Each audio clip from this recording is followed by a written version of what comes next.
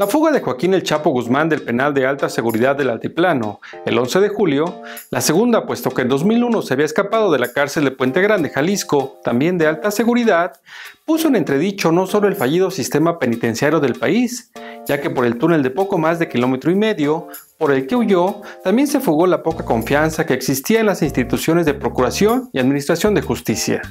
El golpe que significó el escape de uno de los narcotraficantes más buscados del país a nivel internacional puso en alerta los grados y niveles de corrupción que prevalecen en los penales que se concibieron desde su creación en 1991 como una respuesta del Estado mexicano para someter a los jefes de los cárteles de las drogas, quienes pese a su detención continuaban manejando sus millonarios negocios desde la cárcel. El modelo de prisiones de alta seguridad, manejadas por el gobierno federal al paso de los años, ha perdido su eficacia y si bien continúa operando con un reglamento altamente restrictivo para los internos calificados como delincuentes de alta peligrosidad, ello no ha sido impedimento para propiciar una fuga que dio la vuelta al mundo. Si bien la recaptura del Chapo Guzmán es una prioridad para el gobierno federal, lo más importante será ver la manera en que se replantee el manejo de los cuatro penales de alta seguridad que hay en México, en los que de acuerdo con lo ocurrido en el altiplano, enfrentan un grave deterioro en la forma de operar.